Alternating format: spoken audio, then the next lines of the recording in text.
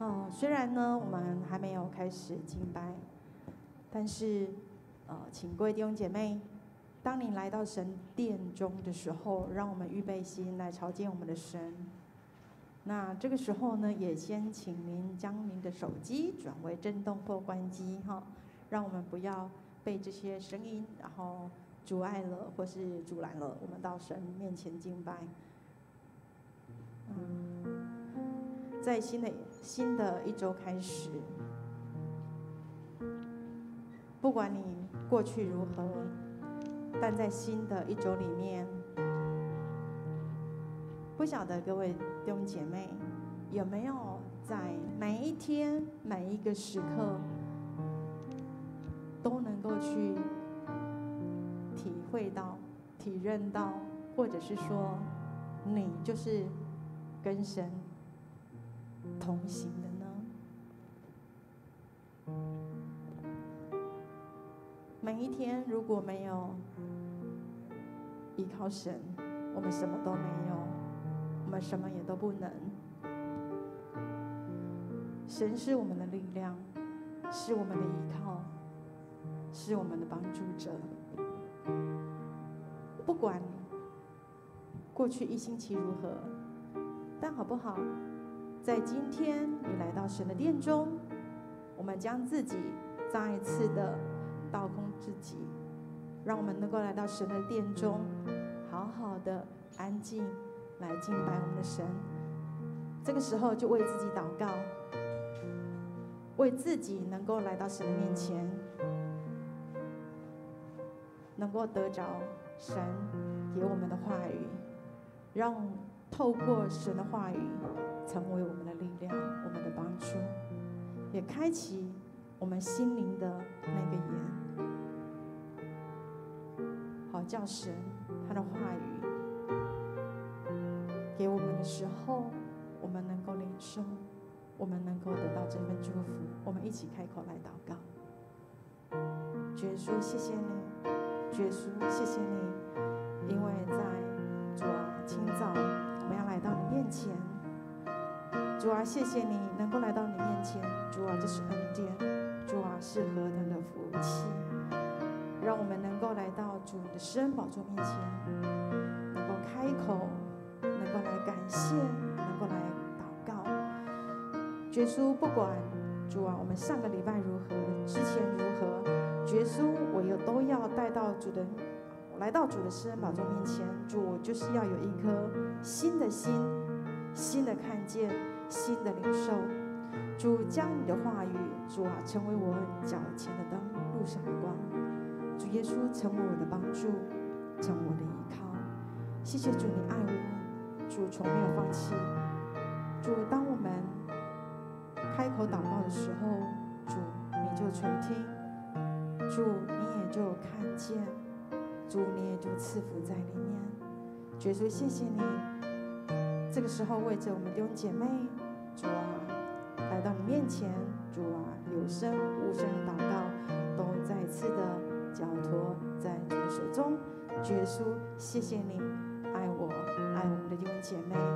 主啊，谢谢你，谢谢你，也听我们有声无声的祷告。谢谢你，也为着还没有来到当中的弟兄姐妹，也来向主献上祷告。耶稣，恳求你也加紧他们的脚步。让他们能够平平安安的来到我们当中，让我们一起来敬拜你，让我们能够在圣殿当中高举你的名，将主你当得荣耀归给你。耶稣，谢谢你，谢谢你，谢谢你，主啊，圣灵在此，主啊，谢谢你，谢谢你，听我的祷告，感谢乃是奉靠耶稣基督圣名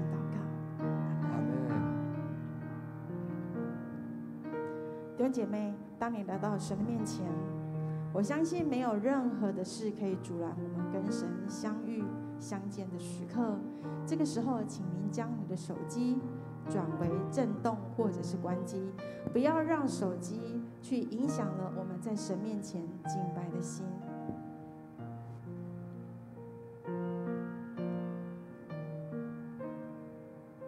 在诗篇二十九篇。一节里面讲到说，神的众子啊，你们要将荣耀、能力归给耶和华，归给耶和华。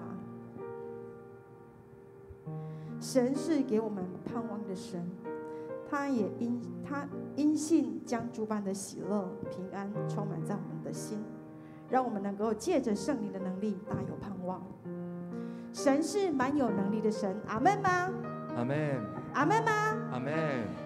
我们一起起立，我们一起来敬拜我们的神。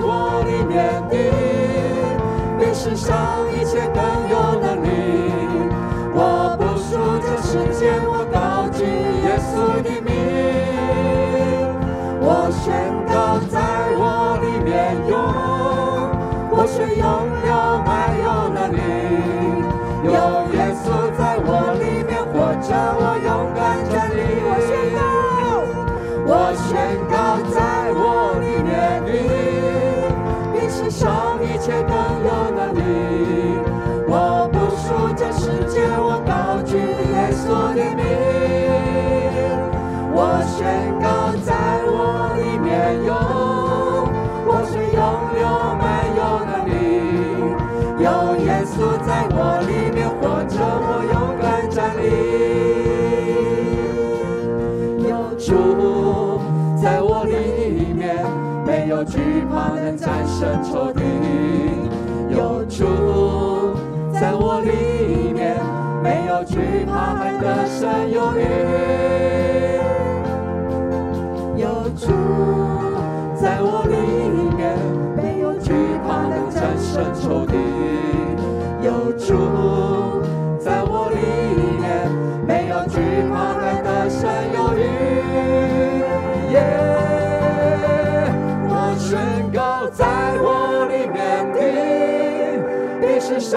切更有能力。我不输这世界，我高举耶稣的名。我宣告，在我里面有，不是有。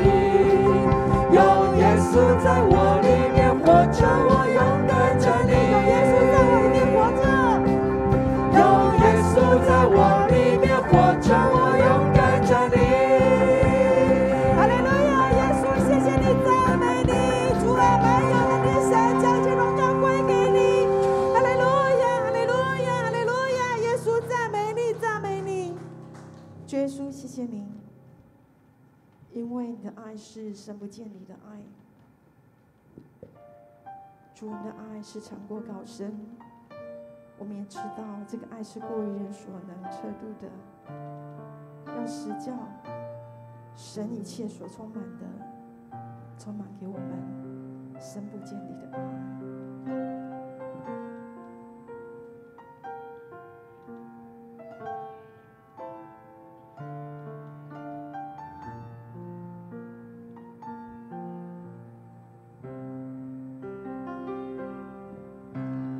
圣经里面说，天父何等爱我，不管错对错，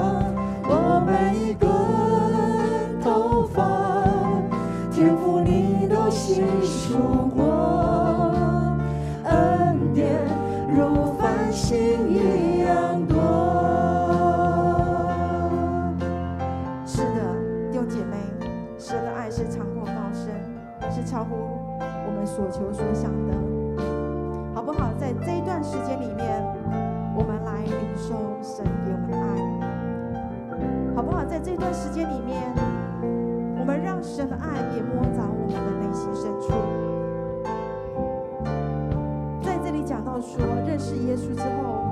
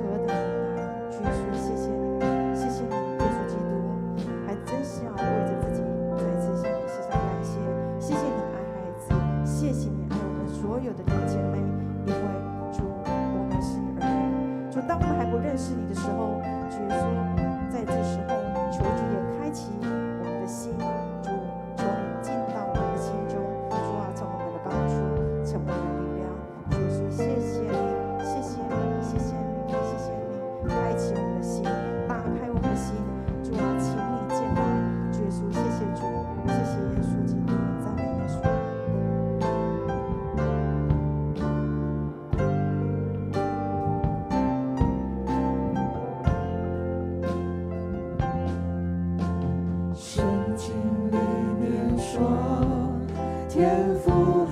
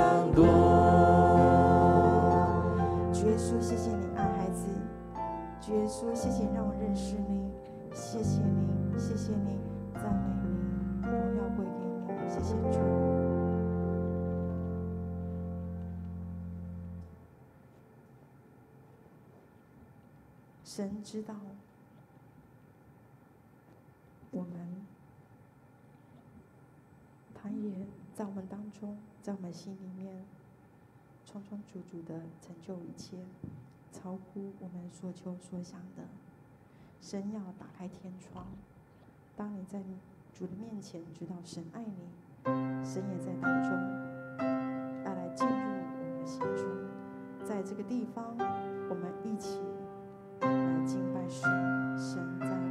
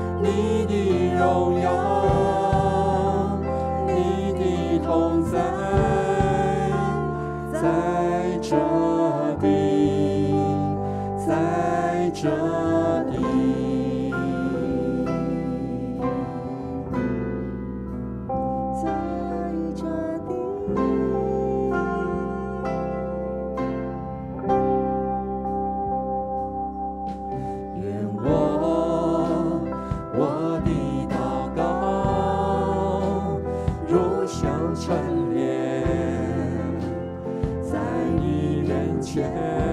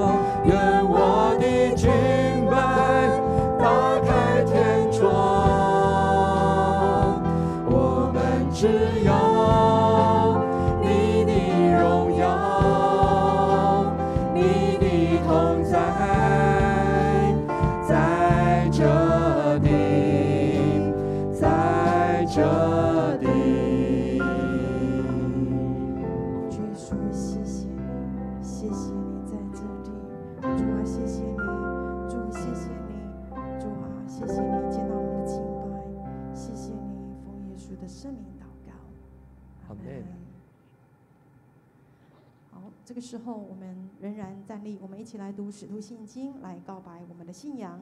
弟兄姐妹，请。我信上帝全能的父，创造天地的主。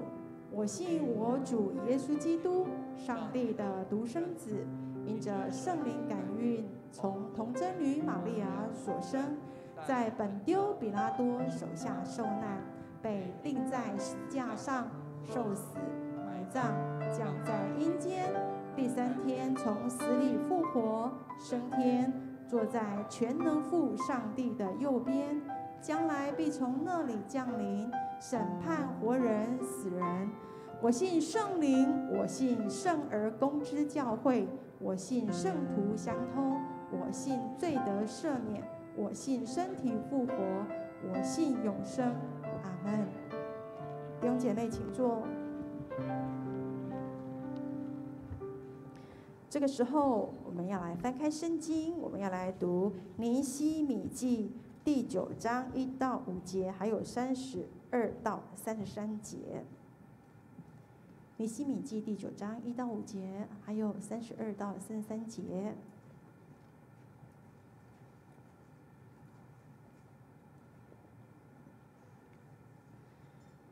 好，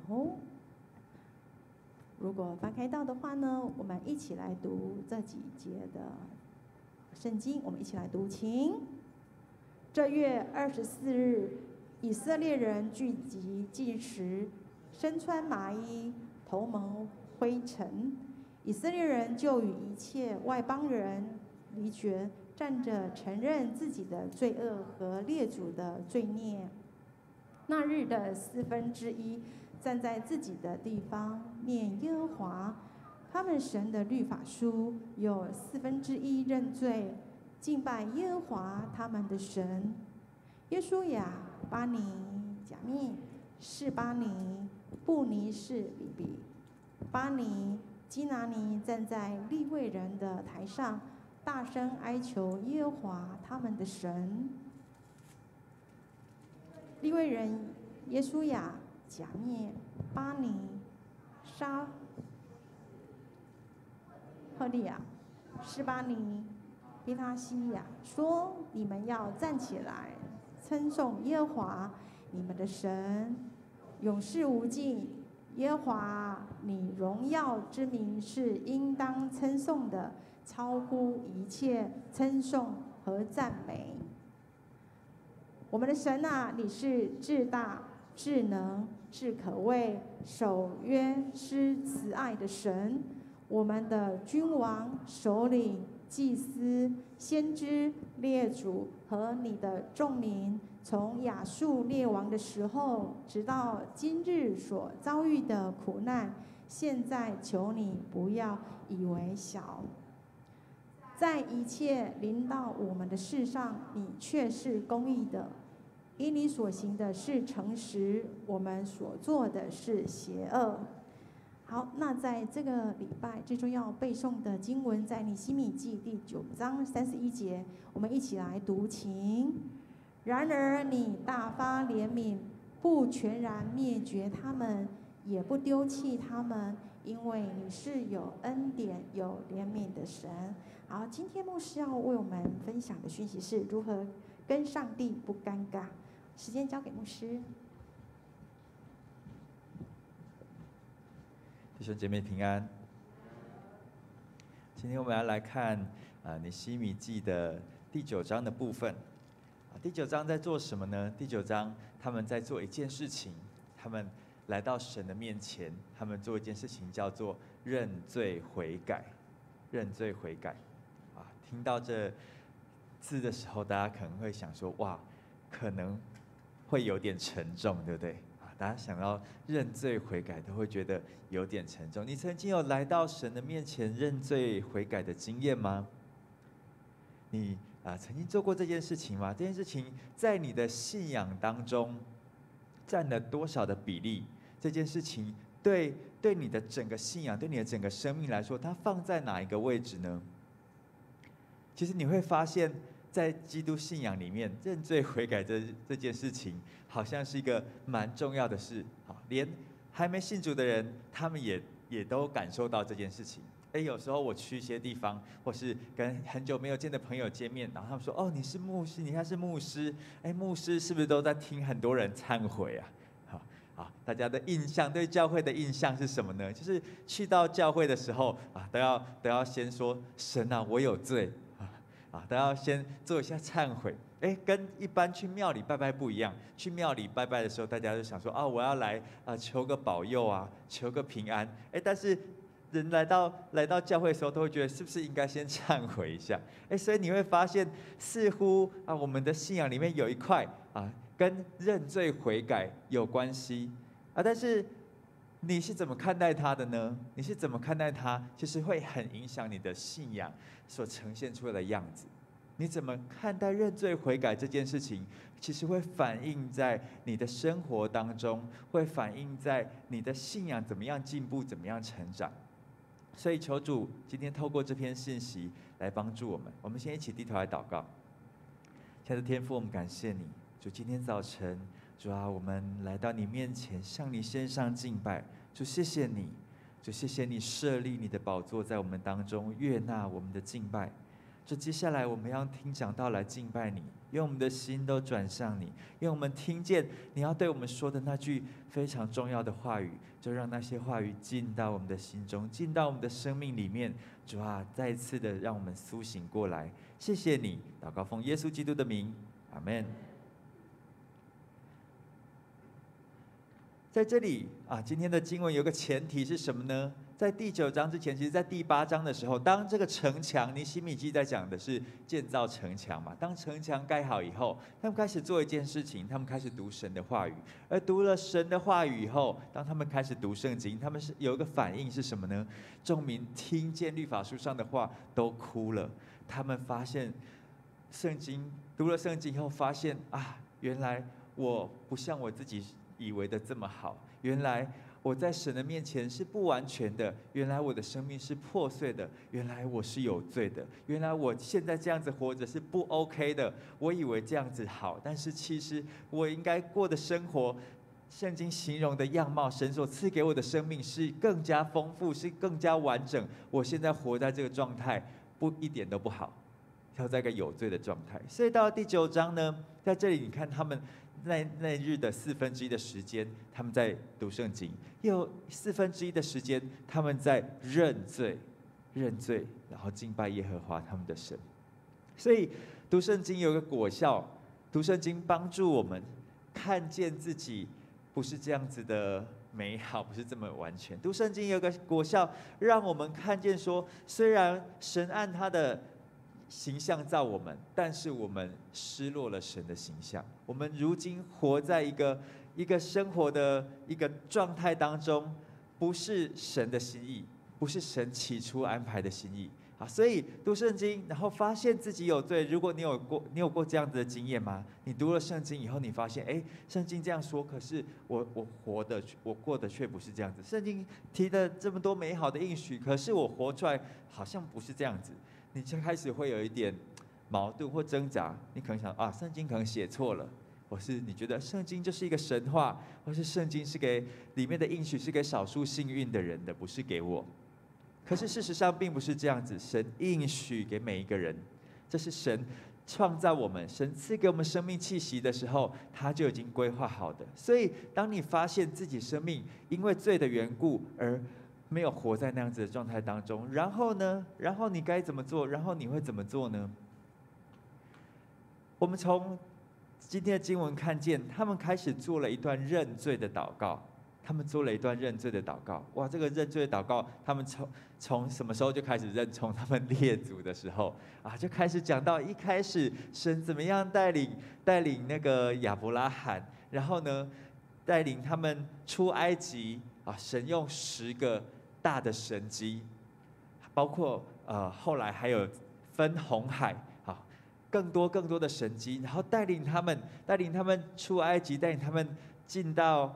要进到应许之地，哎，可是这里说什么呢？但是我们的列祖行事狂傲，应着景象，不听从你的诫命。当以色列人他们刚过了红海，他们就开始跟神抱怨。圣经记载他们在旷野里面十次试探神。就是说，神给他们，神这样说，但是他们不这样做。神说你应该这样子啊，包括怎么收玛纳啊，神赐给他们玛纳。哎，神说你这样子收，你就可以吃的很好。他就说我就是不要这样子啊，十次在旷野十次的试探神，不听从神的诫命。然后呢，他们就啊过得过得不好啊，他们就遇见一些灾祸，然后他们就哀求神啊，然后神就呃帮助他们，然后他们。哎，又好像舒服了。哎，接着当他们进到应许之地以后，开始了以色列人第二个时期，叫做接下来的时期叫做士师的时代。神在当中兴起一些民族的领袖。为什么神要兴起这些人呢？因为当他们进到那个流奶与蜜的之地，那个应许之地以后，他们又过得很舒服，以后又觉得哎，我自己当王就好，我自己当神，个人任意。而行，个人都自己当做自己的王，所以世师时代又可以看到七到八个这样的循环，就是哎，他们在生活当中，他们又开始不听神的话，然后呢，敌人仇敌就来欺压他们，就来攻击他们，他们觉得很苦，他们就哀求神，神又派兴起世师拯救者拯救他们，生活又恢复到那个平稳的地方，然后他们又不听，然后又犯罪，然后又得得得得得。七七到八个这样子循环，他们竟不听从，背叛你，把律法丢在背后，杀害那劝你他们归向你的众先知，大大惹动神的怒气。哇，在世师时代，你可以看见七个这样选。接下来，当他们就进到下一个阶段，进到王国时期，神他们他们说，神啊，我们要立王。啊，因为他们不想要神当他们王，他说外外邦都有王，那我们来也来立一下王好了。啊，有个王来来来管理，不是很好吗？那你就看见接下来列王记里面有什么？有好王，有坏王，有好王，有坏王。好王呢，就是敬畏神、听神命令的人。那些恶的王是什么呢？就是他们明明有神的命令、神的话语，他们却不遵行，然后甚至他们所治理的方式呢，就让国家里面没有公义，让社会里面没有良善，然后他们就百姓可能又遭遇一些祸患，然后又哀求神，神啊，敌人又来攻击我们的，求你拯救我们，拜托拜托帮我们啊！又再次做一个认罪。但是他们仍不听从，所以最后以色列就灭国了，他们就被掳到巴比伦去，然后再次七十年后才回到现在的地方重建圣殿，然后重建圣殿圣圣城的城墙，然后这一次他们又读到圣经，他们也要做一件事情，就是他们也要做一个认罪的祷告。所以读到这里，你会不会有一点担心？这一次的认罪祷告效果会可以持续多久呢？这次的认罪祷告可以保守他们不落入在那个罪的试探当中多久呢？这次的认罪祷告会有有效吗？你看，当他们叙述这个以色列的历史的时候，以色列的历史简直就是一个不听从的历史，不听从神的命令，不顺从神，背叛神，不听从他的诫命，印着景象不肯听从，他们仍不听从，不听从，不听从，不听从，然后认罪，不听从，认罪，不听从，再认罪祷告。这里讲到以色列的历史，有一个困，有一个困境，就是他们他们一直在犯罪，然后他们就在回认罪悔改，回到神的面前，但是似乎他们的生命没有真正的改变，所以他们认错了，还是在犯错，他们想要悔改却改不掉。当人在这种状态里面，其实信仰就会变得有点尴尬，就是我们今天的主题哈，跟上帝怎么样不尴尬？但这个尴尬表示人跟神之间有一个距离感。哎，其实你可以想象，如果你跟你一个朋友，然后你哎不小心得罪他，然后说啊对不起对不起，可是呢你又犯，还有啊对不起对不起，你又在做同样事情，然后对不起对不起，你们关系会越来越尴尬。会对不对？你会发现有时候当以色列跟神的关系就有点像是这样子，然后我们跟神的关系有时候也是这样子。你可以想象，如果你跟上帝搭同一部电梯的时候，啊，如果今天状况题啊，如果今天你跟上帝搭同一部电梯，只有你跟上帝两个人，哎，那电梯里的空气怎么样呢？你们在电梯里会讲什么话呢？我们社青社青的聚会，每个礼拜五的晚上，我们都会先分享一个题目，就是最近你跟上帝的关系怎么样？啊，有的人说，哦，我最近的关跟上帝关系还不错。有的人说啊，我最近跟上帝的关系就是呃呃已读不回，然后有的人说我最近跟上帝的关系蛮尴尬的，因为因为我明明已经跟上帝祷告说，我再也不要这样子做，我生命想要改变，可是我又我又这样子做，然后我已经做了很多次这样子的祷告了，所以我们的关系就有点尴尴尬，我就有点不知道怎么亲近上帝，我就不知道怎不太知道怎么祷告，我也不太想要读圣经。哎，你会发现是认罪这件事情有没有影响我们的生活？影响我们生活很深，也影响我们的信仰很深。所以你跟上帝搭同一台电梯的时候，哎，如果你那个就显出你跟上帝的的关系。而有的人说，哦，我会我会看到上帝，我会觉得很开心啊。哦，我会看哇，原来上帝长这个样子。或是有人说，哎，我看到上帝，我有很多的问题要问他。我会问他，上帝为什么这个世界有这么多灾难？让我在这当中要过得这么辛苦，为什么你要造这样子的世界？为什么你不要扭转世界呢？上帝可能会认真的回答你，上帝会说：“我没有把世界造成这样子，起初我造的世界跟幕后我要带你们去的新天新地都不是这样子的。之所以会这样，是因为人犯罪得罪了神，是因为人决定不听神的话，所以。”罪就进入的世界，接下来死亡就在世界做了王，每个人都被死亡所辖制。哦，是上帝是这样哦，好，拍谁哦？不好意思，上帝，那那那你干嘛要造造人类？你干嘛把我造出来啊？上帝接着说，我造你是因为。我我爱你啊，就像父母亲，他很期待一个一个新生命可以被他们所爱，可以接纳承受他们所有的爱，他们要把所有的爱都给一个对象，那就是你，因为神他就是爱，爱有一个对象，所以他一定会把你造出来，所以他爱你。上帝有吗？你有爱我吗？我我好像没有感觉到哎。上帝说我爱你，爱到把我的独生爱子都赐给你，而且为你舍了命，我难道还不爱你吗？哦，是哦。不好意思哎，啊，上帝对不起啊，啊，那你就发现，当你跟上帝搭同一部电梯的时候，哎，最后这些问题的答案还是会回到这件事情上面。有个事情就是罪，它卡住，卡在人跟上帝中间，让我们跟上帝中间有一个距离，没有办法很靠近。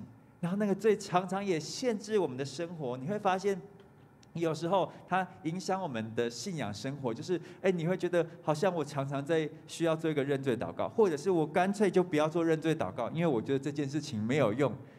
可是当你不这样做的时候呢？哎，表示表示什么呢？表示你可能就呃不在意自己是不是圣洁的，表示你可能直接走向那个不听从的那那条路了。呃，不止这影响你跟上帝的关系，没办法靠近，没会很尴尬。你只有有需要的时候才来上帝面前要求他，但是平常没事的时候，哎，我们尽量少联络啊。有事的时候我再来找你，这也影响到。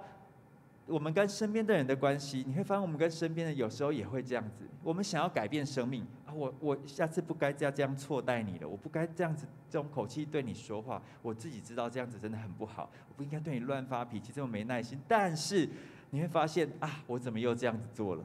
然后久而久之，我们跟身边的关系有时候也有一点点的疏离，也没办法靠得很近。这个罪有时候卡住我们，也影响我们的自我形象。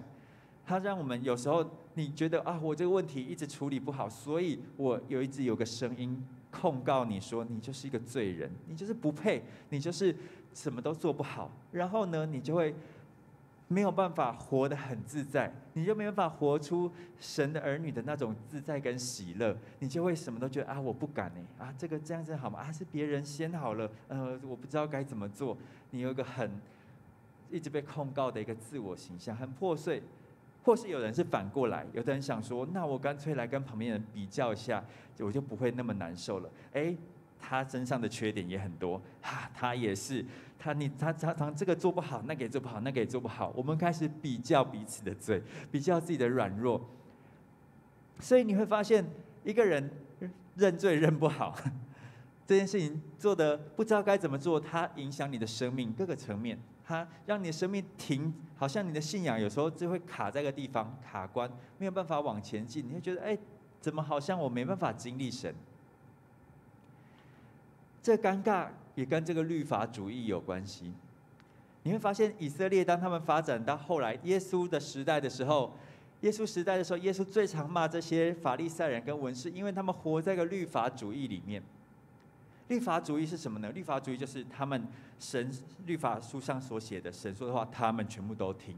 哎，你说，哎，这不是很好吗？这应该很好，对不对？但是其实不是。律法主义的好处是什么呢？啊，我说的不是真正的好处，是对那些跟上帝很尴尬的人来说的好处，就是律法好处就是上帝，你这里列出来的我都做到了，所以我不欠你。你律法书上写的这些规定，我一条一条我把它列出来，然后什么做细则我都写好，然后我都全部照着做，我就不欠你。它的好处就是，我不用管上帝现在在想什么，我不用管跟我在同一台电梯的上帝现在心情是什么，他在想什么，我只要达到标准，我就可以控制上帝。上帝这些我都做到了，合约上面这些我都做到了，所以我可以上天堂，所以我应该得救，所以你应该。让应许我，让我可以得到那些东西，都给我吧。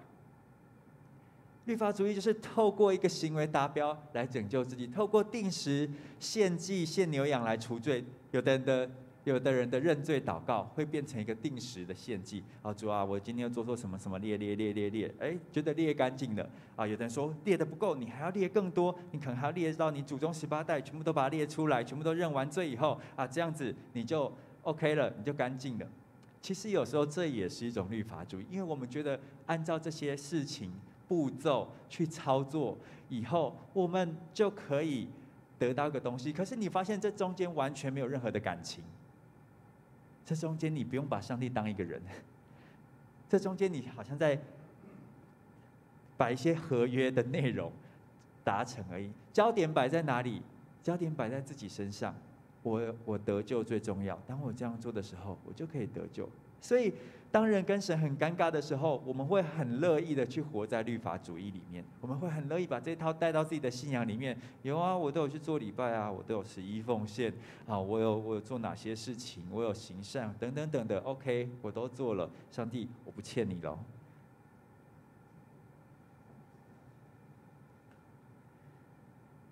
可是基督徒。圣经应许我们，若有人在基督里，他就是新造的人。圣经应许我们是，当我们接受耶稣的时候，我们的生命都会经历这样子改变，叫做新造的人。一个真正的悔改是让我们跟神的关系不再尴尬。所以，到底这件事情是怎么发生的？今天不只是认罪悔改这个问题而已。今天的主题其实是我们的生命到底是怎么样改变的，我们的生命才不会一直活在那个以前的样式，一直在以前的老我里面。我们来看一下认罪的顺序跟内容，它让我们看见神怎么样帮助我们悔改。其实。是神在帮助我们悔改。当你有时候我们觉得想要透过一些事情，正确的祷告内容、正确的步骤、正确的方式，哎，这样子就又可以悔改。但是其实不是，是神他在帮助你，帮助我悔改。好，正确的这个认罪的顺序是怎么样？你会发现上一章写到。当他们读了律法书，当他们都哭了的时候，他们原本想说：“哦，我们读了圣经，然后错了，我们要马上忏悔，要马上祷告。”很多时候我们想要这样做，可是神知道这样子做，你下次还是一样。这样子做对你的长远来说，其实不会有真正生命改变的帮助。所以这些这些教导他们圣经的人说：“现在不是哀哭的时候，现在应该要喜乐。”于是他们喜乐了八天，还记得吗？上次我们所提到的那个圣日。他们欢庆了八天，八天享受哦，原来这是神要给我们的美好的日子。哎，这个很重要哎。如果你不知道你悔改是要改去哪里，你只是你只是把原本做错的事情我不要去做而已，那你的心永远不会喜乐，你也不会在当中感觉到满足。所以神先让他们喜乐，神也希望你先在神里面先喜乐。然后在喜乐的日子里面悔改。当那八天过后，他们就开始进食，身穿麻衣，头蒙灰尘。这是他们当时候一个举哀的一个表表达。他们在喜乐的日子里面悔改。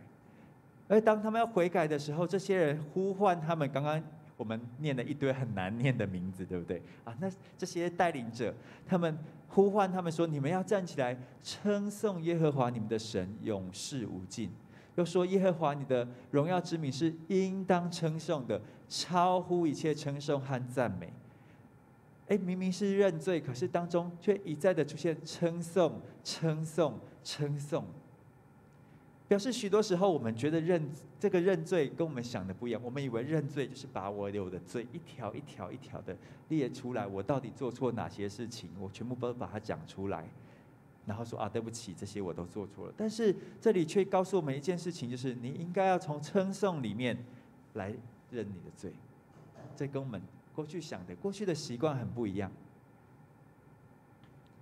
所以，当我们再次来看这个祷告文的时候，你会发现，这个祷告文其实你仔细去看的时候，它的比例、它的列出罪的比例，并不是最多的。最多的是什么？最多的是提到神的怜悯跟拯救。里面不断的说他们怎么样，他们不听，他们不顺从，但你很重要哦，但是你乐意饶恕人，有恩典，有怜悯，你不轻易发怒，你是丰盛慈爱的神，你不丢弃他们。里面提到，虽然这些人，我们的列祖，还有包括我们，我们都不听你的话，但是你。乐意饶恕人，但是你有恩典，但是你有怜悯，你不轻易发怒，你是怎样的神？丰盛又慈爱的神，你不丢弃。然后这一次一次在旷野里面，你还是大施怜悯。他们十次十次试探神，那你还是大施怜悯。你在旷野不丢弃他们，白昼云柱不离开他们，你仍引导他们行路。夜间啊，火柱仍然照亮他们当行的路。你也赐下良善的圣灵教训他们，你也赐玛纳给他们吃，赐水来解他们的渴，让他们不会饿到，让他们不会渴到，而且你养育他们，他们就一无所缺，他们的衣服没有破脚也没有肿，而且你还把地赐给他们应许之地，等等等的。你看见以色列的历史是一个不听的历史，不听从你，但是其实以色列的历史从。正确的认确认罪祷告内容里面，你看见这里要我们看见的是，它更是一个神怜悯拯救的历史。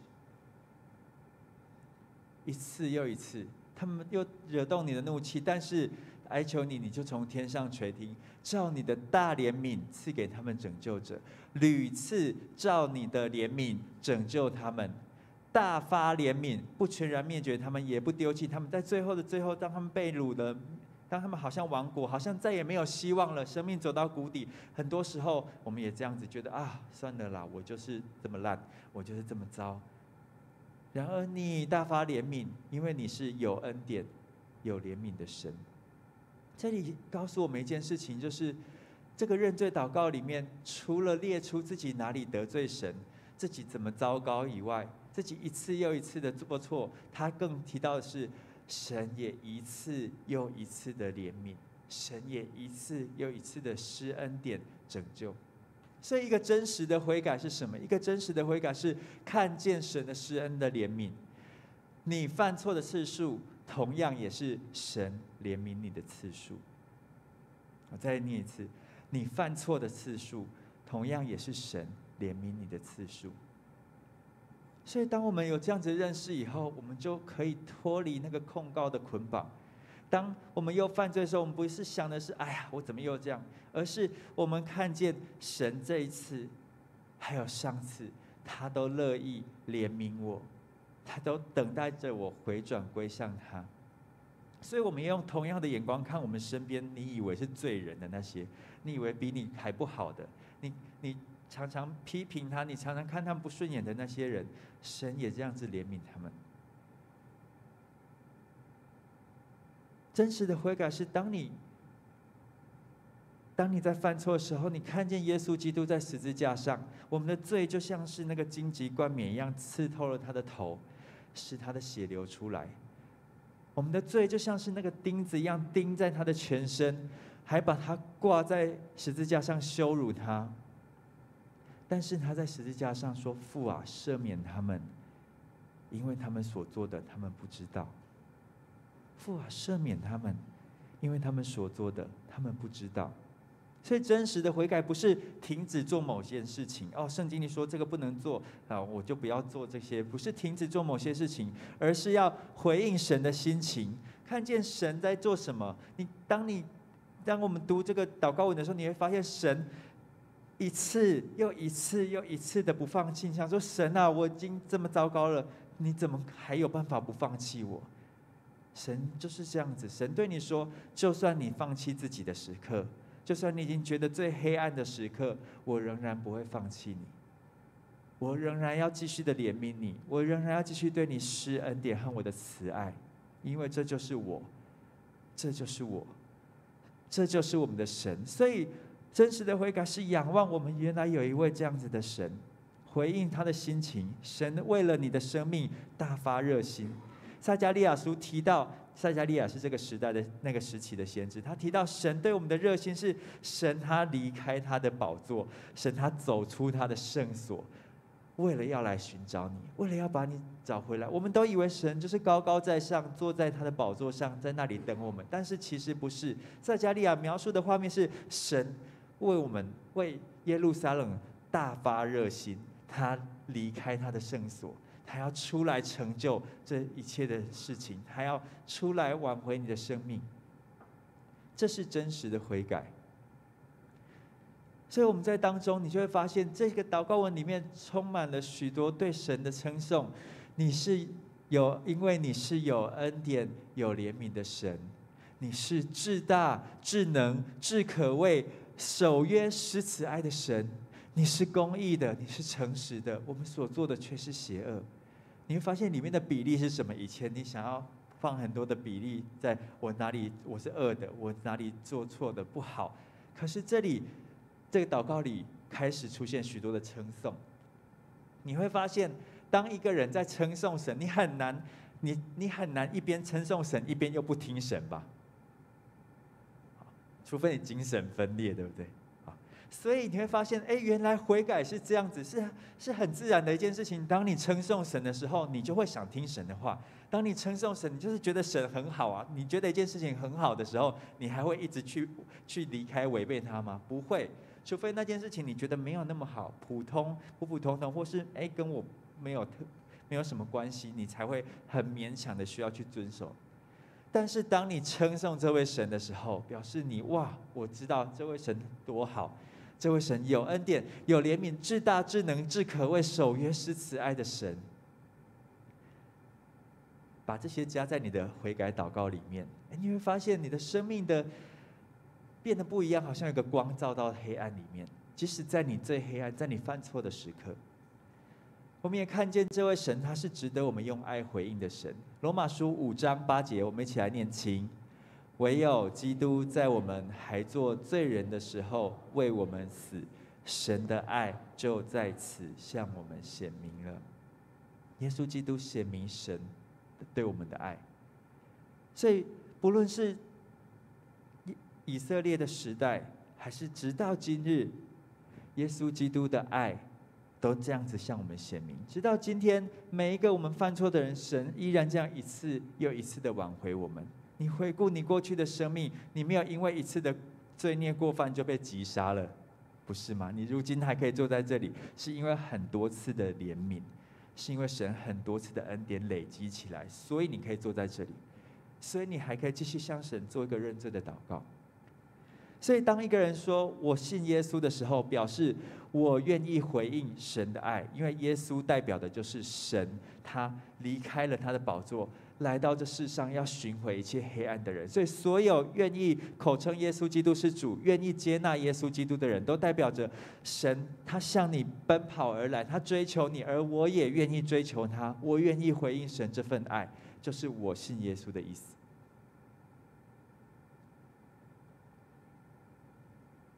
第九第九章的经文到最后。所有的人，他们说这一切因这一切的事情，我们立确实的约写在车上。你发现立约它不是只是一个一个合约一个条文，立约是什么？立约是每一个爱到最深的人都会做的事情。你很爱很爱一个人的时候，你会跟他说什么？我永远爱你。哎，我永远爱你，不就是一个立约吗？因为这件事情还没发生，它是一个承诺，对不对？父母跟小孩也是这样子，我女儿很喜欢跟我撒娇，好，每天要出门的时候，爸比你不要去上班吧，爸比你回来了，爸比，啊，你也会很想跟他说啊，爸比永远爱你，爱会让人想要立约，爱到想要立约，所以同样的，这个约它不是用来辖制你的生命，说哦你吼你又没有遵守了，而是它是一个爱的极致的表现，在你很爱很爱的时候，你就想要做出这个承诺。你当时候在意的不是如果我违约了会怎么办？你当时候在意的不是说我会不会做不到，而是你会觉得说，我就是想要尽力做到，因为我很爱很爱你。请实情。所以今天的信息告诉我们，悔改的方式是什么？悔改的方式是在于认识神的良善，认识神热切爱你的心。然后在喜乐跟称颂当中，自然的改变你的生命，这就是悔改。而悔改的终点在哪里？悔改的终点在于享受跟神越来越亲密的那份关系。从一开始两个人好像很尴尬，没什么话讲，或者觉得哦对不起啊，我又得罪你了，到我愿意转向神。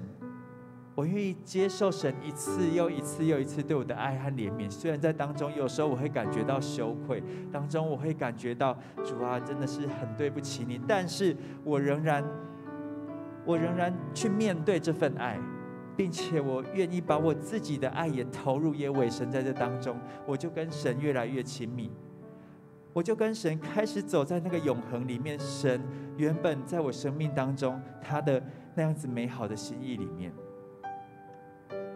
这就是认罪的终点。弟兄姐妹，我邀请你现在有一段的小小的时间，给自己这样的一个小小时间，邀请你来到神的面前，做一个悔改的祷告，做一个认罪悔改的祷告。你开始像第九章所说的，你不止把自己生命当中得罪神的部分诉说出来，你更要在当中诉说神对你的怜悯。你在当中开始。称颂神，让我们花一点点的时间，把你自己带到神的面前，只有你跟神两个人面对面的时刻，让这样子的时刻不再尴尬，让你们的距离可以被拉近，让我们进到这样子的亲密当中。神为了你，他大发热心。神那火热的爱，从创世到现在，不断一次又一次的来挽回你的生命。这一次又一次，是神承受那些痛苦，神承受那个背叛刺伤了他的生命，但是他仍然要挽回，他仍然继续爱你，他要再一次的爱你。所以，就让我们放心的将自己交在神的手中，不需要再靠自己来得救。我们所要做的，就是将自己完全、完全的交在神的手中。亲爱的主耶稣，我们感谢你，就谢谢你，你就是神的爱。我们看见了你，就看见神怎么样爱我们，是毫无保留的。当我们看见你被悬挂在十字架上，我们仰望你就得着医治，是因为我们看见你毫无保留的为我们承受这一切的罪孽过犯。所以，我们生命在当中，我们就得着了医治，我们就得着了真正的生命。我们知道，在你里面，我们永远可以转向你。我们知道，在你的里面，我们永远不会被放弃。主啊，所以让我更像你，让我更像你。耶稣，谢谢你听见我们每一个人在你面前的祷告，主啊，也听见我们每个人的心再次与你立约。主，我们要更爱你。谢谢主，祷告奉耶稣基督的名。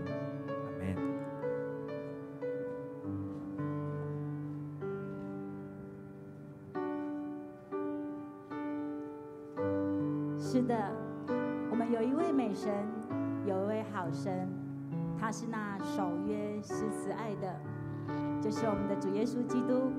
他为我们完全的献上他自己。感谢主，让我们今天早上用诗歌在这里敬拜他，用听到来敬拜。接下来我们用奉献来敬拜。马拉基书第三章第十节写道：“万军之耶和华说，你们要将。”十分之一全然送入仓库，使我家有粮，以此试试我是否为你敞开天上的窗，请服于你们，甚至无处可容。我们的神，他就是这样厚赐百恩。当我们回应他的爱的时候，他为我们敞开天上的窗，他所要赐给我们的福，不是那一点点的。而是请到下来的，让我们一同从座位上站立起来，用奉献来敬拜他，用奉献来感谢他，感谢耶稣。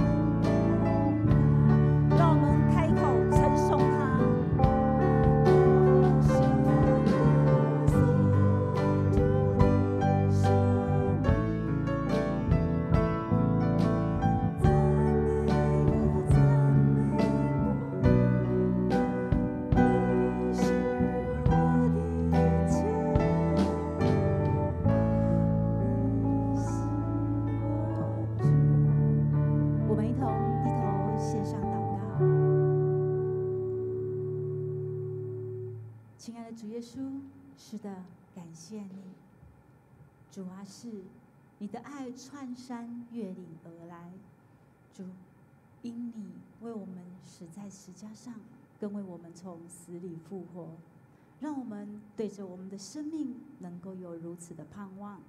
主，我们知道我们原是那罪人，而你为我们献上自己。主，你为了寻回我们，为了洁净我们的罪，父神，我们感谢你，谢谢你，你是那等候着我们回家的父。我们不单单是我们的人回到你的家，我们的心也再一次回到你的家里。愿你，亲爱的圣灵，帮助我们，让我们能够坦然无惧的站在您的施恩宝座前，称颂你，因为这是你配的。主，让我们再次将自己献在您的恩手中。我们如此祷告，感谢奉献，是奉耶稣基督宝贵的名。阿门。各位弟兄姐妹，请坐。让我们先来欢迎首次来到我们当中的新朋友跟家人。若您是首次来到我们教会参加聚会的，欢迎您举个手，让我们看见。哦，我们今天都是这一阵子有在我们这里聚会的弟兄姐妹，那也鼓励各位，我们待会会后可以彼此问安，彼此交通。我有大概两周的时间没有站在招待台，就今天站在那边的时候，突然对某些眼睛有点陌生了，真的。很多时候，我们因为疫情戴着口罩，那比较少时间彼此交通跟问安。但我们透过主日聚会的这个时间，能够在这里彼此认识。那在直播端观看的弟兄姐妹，虽然你们在网络的另一端，也欢迎您可以在我们的留言区留言，把你在今天听到里面所得到的感动，你想要回应的，也可以在上面留言。那我们教会的牧者同工会来看您的讯息。那如果您有需要的话，需要带导也可以打在上面，那我们会跟您联络来为您带导。再来，我们感谢神，我们教会呢在上一周，我们的人资部他们对外募集了一百五十包、一百五十包的福音米。那我们上一周出动了很多弟兄姐妹，我们来看一下今天的影片。这些弟兄姐妹他们那天。很厉害，真的很厉害。据说待会你们看到那每一大包是三十斤，那个箱子不要看它只是个纸箱。周我们启动了福音米的施工，因着主办单位的人力不足，我们亲爱的弟兄们就卷起衣袖来协助。一袋三十公斤的米，代表了耶稣基督的爱、陪伴与祝福。愿神继续保守我们这一次福音米的施工。能够将福音传递到需要的家庭里面。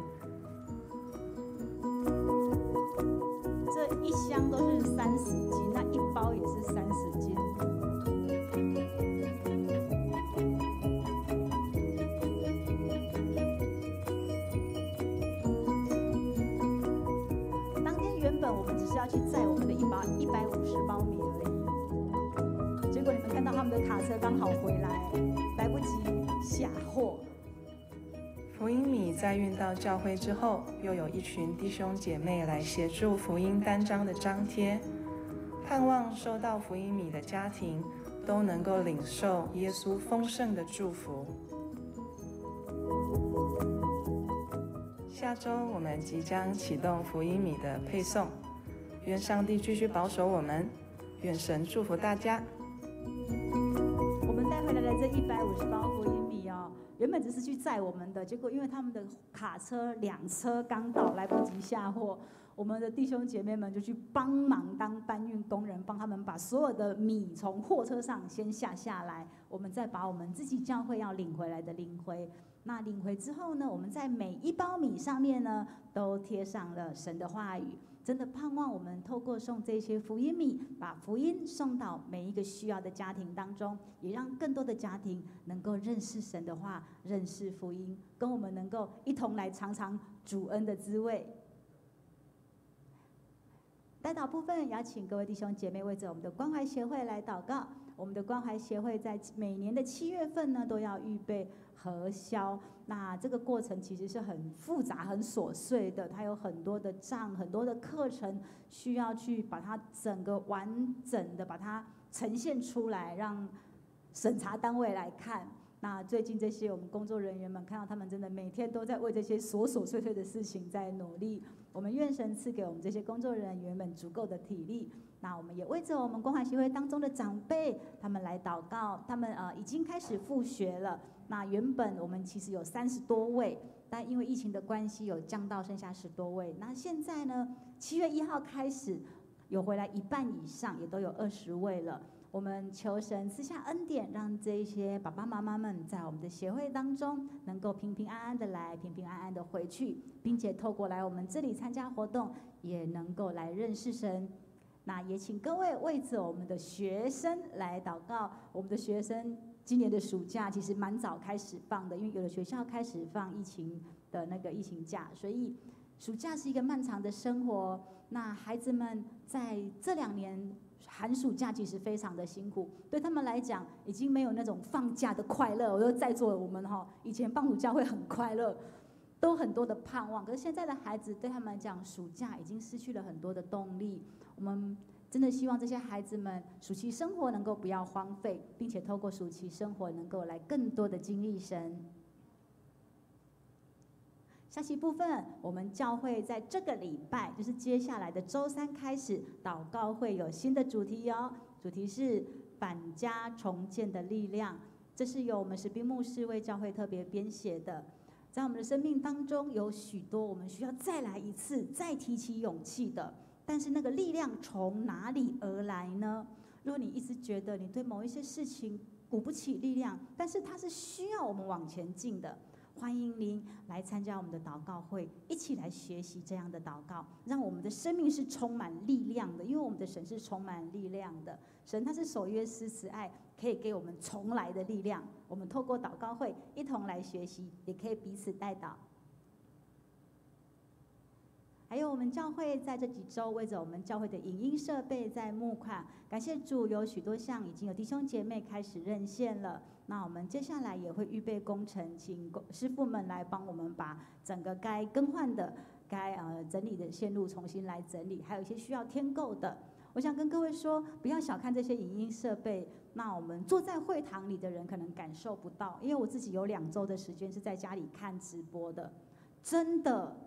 直播端的弟兄姐妹们辛苦了。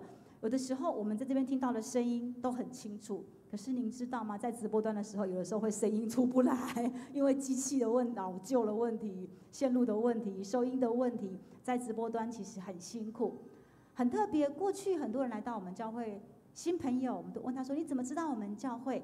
他们会说：“哦，我就想要找教会，然后就 Google 台中教会，然后就看到基督救恩之光。”但现在不太一样了。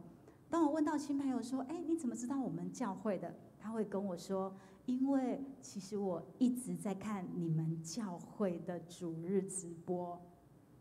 其实看直播的不只是我们会内的弟兄姐妹，还有许多人，他们因着没有办法参加教会聚会，或者是神吸引他、感动他，他就自己上网去搜寻，而看见了我们教会的直播，进而到我们教会实体来。”所以，我们真的不能小看这个网络的力量。神的工作是超越空间跟时间的。我们怎知道每一场敬拜、每一个主日，在我们看不到的地方，他仍然在做工。所以，很感谢神为我们做充足的预备，也求神来纪念这一些为他圣功所摆上的弟兄姐妹。下期部分要提醒各位，我们教会的第二季读经计划到七月底要结束哦。若你已经参有参加的，请赶快加紧脚步，把没有读完的把它赶上去。那若您第一季、第二季来不及参加的话，第三季没有关系，八月份可以开始。你现在也可以开始来寻找你的伙伴，一起来参加。主妇社提醒各位弟兄姐妹，七月份已经开始喽。若您六月份的股金尚未存款的，在今天下午能够把款存进来的话，就请您呃加快脚步。然后我们的专员他特别晚了两天结账，让我们在今天结账，一样是可以归到六月份。所以我们的工作人员他愿意多两天的时间，然后延后两天结账。所以如果六月份尚未存的，今天下午还有机会把六月份的补存上去。那其实你今天来可以存两份啦，把六月份的补了，把七月份的也存了，那你七月份我们就不会忘记了。以上是我们上周的奉献明细，邀请各位弟兄姐妹自行查阅。若当中的账务有问题，可以洽我们的生意相传道。那如果您有个人奉献编号的，我们就会登录个人奉献编号。如果您的奉献袋上面没有编号，而是写上你个人的名字，我们就会用名字登录。那如果您想要申请编号，可以洽我们的生意相传道。邀请您再次从座位上站立起来，我们一同来唱《颂荣》。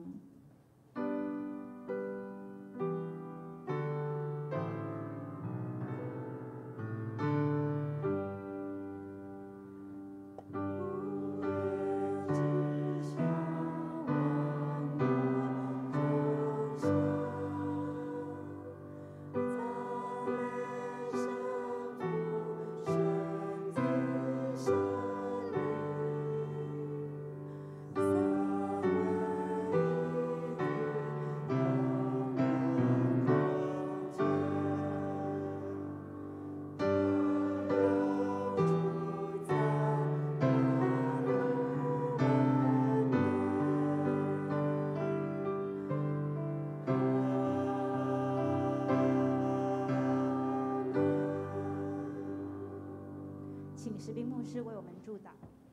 请依然站立，我们低头来领受祝祷。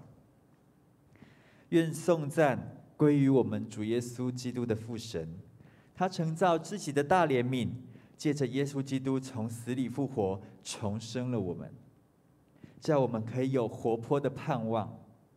愿所有的荣耀，愿所有的尊贵，所有的称赞，都归给他，直到永远。阿门。